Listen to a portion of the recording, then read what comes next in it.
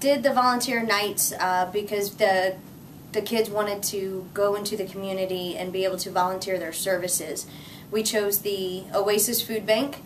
Um, uh, they were in need of some cleanup and some uh, setting up for the Boy Scouts. The Boy Scouts went out and collected a whole bunch of food. Um, and on Saturday morning, they brought it to Oasis. And so we set up all the tables, did all the setup. We did, we cleaned, we cleared out trailers um, for all the donations to get in, go in.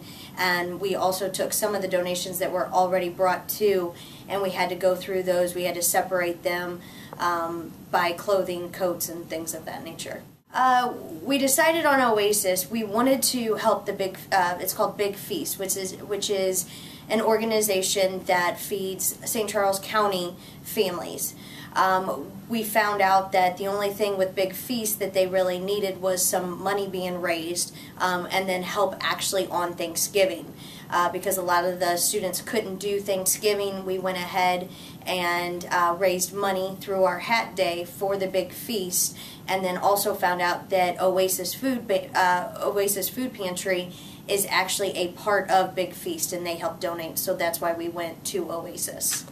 Um, the girls made it uh, quite interesting. Uh, we had a lot of fun. Uh, just the lady who uh, I guess was in charge, I believe she was in some kind of military before she uh, was part of Oasis. Um, she she wasn't the friendliest, but we made a lot of fun with it. Um, just being with the girls and um, sh them showing you know how much they really wanted to do this. They, they're not looking for anything to give back. They truly wanted to do it and see the excitement on their face. I, I can't really pick a favorite part just by seeing the girls and knowing that they're doing something that they love was perfect.